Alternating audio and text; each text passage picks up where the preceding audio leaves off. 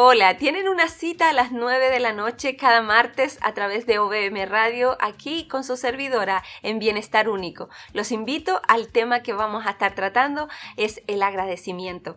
¿A cuántos ustedes tienen que agradecer? ¿Qué cosas tenemos que agradecer? Eso lo veremos el martes a las 9 de la noche por OBM Radio. Gracias.